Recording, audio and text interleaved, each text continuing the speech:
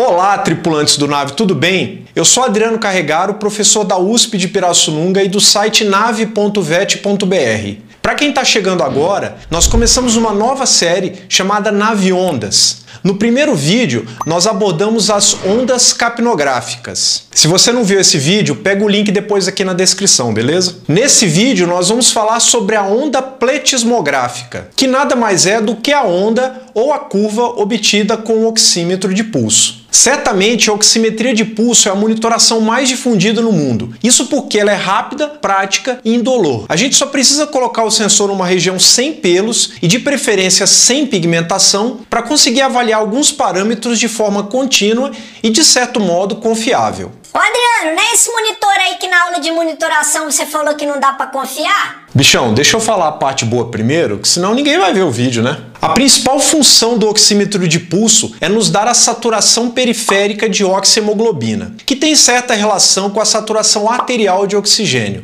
Ainda que algumas pessoas achem que é a mesma coisa, não é. Elas têm alguma diferença. Mas na prática, a gente acaba considerando as duas como sendo muito similares. Principalmente porque se a gente for avaliar a saturação arterial de oxigênio, a gente tem que ficar colhendo a amostra arterial, que já começa a ficar um pouco complicado.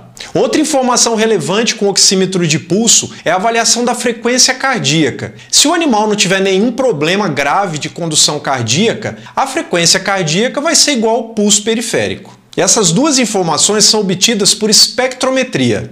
Eu não entendi o que ele falou. Geralmente, o sensor parece uma presilha. De um lado tem uma fonte de luz vermelha e infravermelha, e do outro lado, o detector. A oxihemoglobina tem a capacidade de absorver essas luzes. Quanto menos luz chegar ao detector, maior a absorção por parte da oxihemoglobina e então maior será a saturação, e vice-versa. Nós também temos o sensor de reflectância. Nesse caso, tanto o emissor de luz quanto o detector estão do mesmo lado. Geralmente, esse sensor é utilizado quando fica difícil a utilização da presilha, como por exemplo em neonatos, amputados ou mesmo aqui, que nós estamos utilizando no céu da boca de uma tartaruga verde. O objetivo é sempre termos valores de saturação periférica acima de 95%. Isso é importante porque a gente faz um certo paralelo entre a SPO2 e a PaO2. Lá na aula de monitoração, nós vimos que valores acima de 95% de saturação nos dão valores de PA acima de 80 milímetros de mercúrio, indicando normóxia. Então, qualquer oxímetro razoavelmente bom vai nos dar valores de frequência cardíaca e saturação periférica de oxigênio. Porém, apenas os melhores vão nos dar a onda pletismográfica, que é obtida a cada pulsação.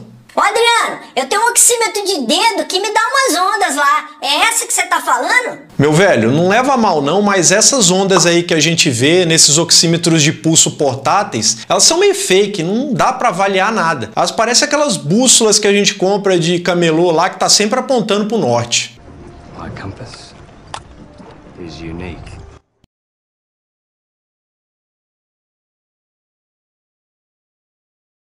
A primeira coisa é saber aonde nós vamos colocar o sensor. Geralmente nós colocamos na língua ou na orelha, mas também podemos colocar no lábio, no teto, no interdígito ou no metacarpo. O importante é colocar numa região sem pelos e com pouquíssima pigmentação. Ô Adriano, mas é tudo igual? Dá a mesma leitura? Ô meu velho, calma aí. Esse cara tá meio louco hoje, não para de perguntar. Depois a gente fala sobre isso. Primeiro nós vamos falar da onda padrão, ok? A onda ou curva pletismográfica é obtida com o pletismógrafo. Durante muito tempo ela foi negligenciada na monitoração, mas atualmente vem recebendo bastante destaque. Ela tem um jeitão muito parecido com a onda de pressão arterial invasiva, obviamente porque ela reflete o pulso arterial. Para formar a onda pletismográfica, o sensor detecta a absorção mínima, que é lida na fase não pulsátil, e a absorção máxima, obtida na fase pulsátil. Nós podemos ver aqui que ela tem uma onda bem característica, com o primeiro ramo ascendente, bem pronunciado, que representa a sístole ventricular, e um ramo descendente, representando a diástole. Esse entalhe aqui é o que chamamos de incisura dicrótica ou nó dicrótico, que representa o fechamento da válvula órtica. Esse fragmento caudal também pode ser chamado de onda dicrótica.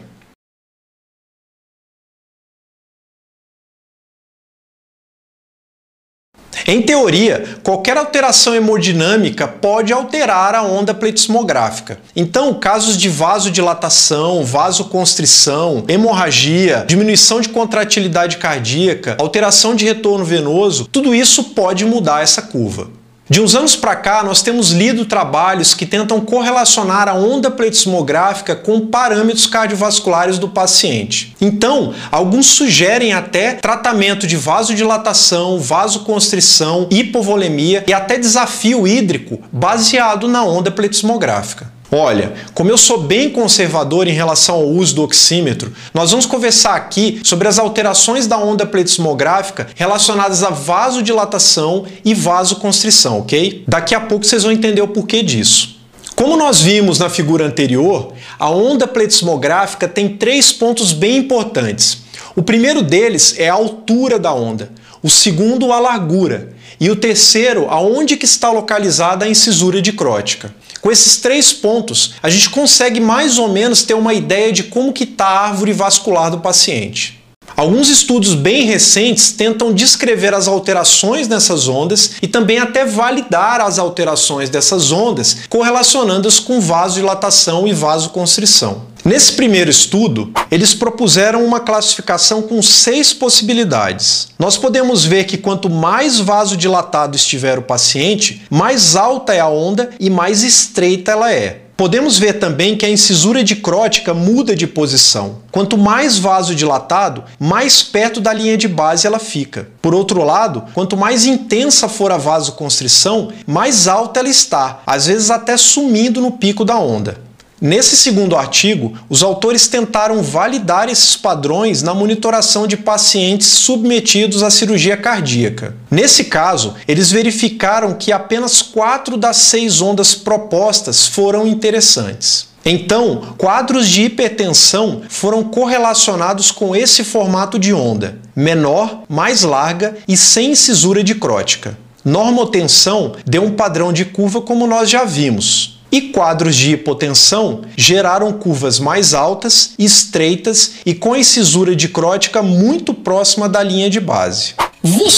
Aí sim, Adriano. Vou corrigir volemia só com a onda pletismográfica. Então, é aí que começa a dar problema. Vamos pontuar algumas coisas aqui, ok? Primeiro deles é que esse estudo foi feito numa população bem restrita, pacientes adultos em cirurgia cardíaca. E um detalhe, pacientes que sangraram muito durante a cirurgia foram removidos do experimento. Segundo ponto importante é que esses pacientes foram muito bem monitorados, com pressão arterial invasiva, PVC, débito cardíaco, ventilação mecânica e muito mais. E as correções de hipertensão e hipotensão foram baseadas nessas variáveis hemodinâmicas e não na onda pletismográfica. Terceiro ponto importante é que a onda pletismográfica desse estudo foi analisada em computador e não ali ao vivo e vendo o que está acontecendo. O quarto ponto importante é que a gente tem que lembrar que hipotensão não necessariamente está relacionada a vasodilatação. Pode ser falta de volume sanguíneo, por exemplo. O mesmo vale para a relação de hipertensão com vasoconstrição. Nem sempre essas coisas estão perfeitamente correlacionadas, ok?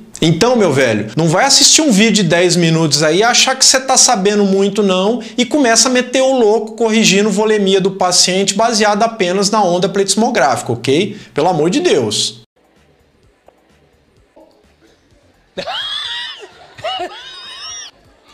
Tá bom.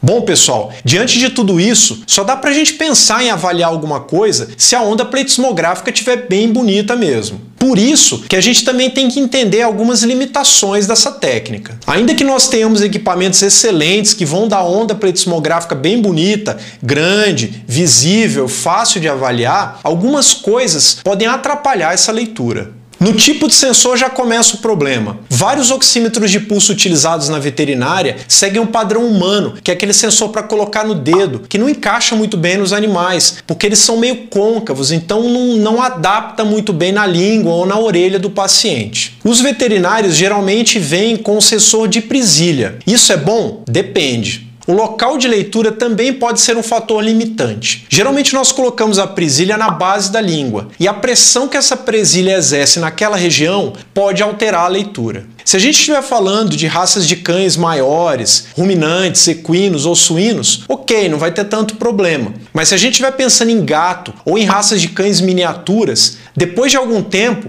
a pressão da presilha vai fazer com que aquela região seja estenosada e a gente perde aquele parâmetro. Aí a gente já começa a mudar o sensor de lugar, vira aquela bagunça e a gente já não está mais confiando no equipamento. Outro problema é quando o animal não está em anestesia geral, que ele pode ficar mexendo a língua e isso é um problema, porque o sensor vai sair do lugar perdendo também a eficácia da leitura. Por fim, nós temos aqueles animais que têm pigmentação na língua, como Sharpei ou algumas raças de ruminantes. E aí a leitura vai ficar muito prejudicada. Tudo bem, como eu falei para vocês, a gente pode colocar em outros lugares, como orelha, lábios, teto, dígito e até metatarso de gatos, por exemplo. O negócio é que essa região não pode ter pelos e ela preferencialmente não deve ter pigmentação. Mas mesmo assim, tem vários trabalhos que demonstram que dependendo do local que esse oxímetro é colocado, a leitura vai ser diferente. O mau posicionamento do sensor, independente se ele estiver na língua ou em outras regiões, também pode ser um problema. Oxímetros menos precisos dão uma certa bugada quando o sensor não está muito bem encaixado naquela região de leitura. Inclusive, eles podem dar até pulso de saturação sem estarem no lugar adequado. Geralmente isso acontece em locais muito claros e com luz muito intensa. Não só a compressão do sensor pode diminuir a perfusão local. Situações de hipotensão severa, vasoconstrição e diminuição de contratilidade podem interferir nessa leitura. Para vocês terem ideia, por exemplo, dependendo da dose e de qual agonista alfa-2 adrenérgico a gente utilizar, nós vamos ter uma vasoconstrição tão intensa a ponto de não dar leitura de oximetria. Não só a pigmentação da pele pode prejudicar a leitura. Situações de icterícia, anemia severa, metahemoglobinemia, carboxihemoglobinemia também podem interferir essa leitura e atrapalhar o sensor nessa avaliação. Por fim, nós temos a padronização. É muito fácil padronizar onda pletismográfica em humano, porque tem a mesma anatomia, a mesma fisiologia e geralmente o paciente é colaborativo com a leitura. Na veterinária já é uma confusão tremenda. Uma hora a gente está com gato, outra hora com cachorro, outra hora com cavalo, o padrão vai embora. Com certeza que a gente ia mudar melhor, já estava bom. Diz que ia mudar para melhor, não estava muito bom, estava meio ruim também, estava ruim. Agora parece que piorou. Bom, pessoal, diante de tudo isso, eu acho sinceramente muito perigoso a gente jogar todas as fichas de monitoração na oximetria de pulso para avaliar aí a frequência cardíaca, a oximetria e a onda pletismográfica. O oxímetro de pulso tem a sua relevância, principalmente ali no pós-anestésico imediato, o animal acabou de ser estubado, a gente tem uma monitoração rápida para ver se esse paciente está saturando bem não entrando em hipoxemia. A onda pletismográfica também é muito interessante, mas ela tem que fazer parte da monitoração. Ela tem que ser avaliada junto com a onda de pressão arterial invasiva e principalmente junto com a clínica do paciente. Aí sim ela tem valia. Bom, pessoal, espero que esse vídeo tenha contribuído para aumentar o conhecimento de vocês nesse assunto, ok? Não se esqueçam de postar comentários, dúvidas, críticas e elogios. Nós respondemos tudo. E continuem assistindo os vídeos do Nave, ok? Grande abraço e até breve.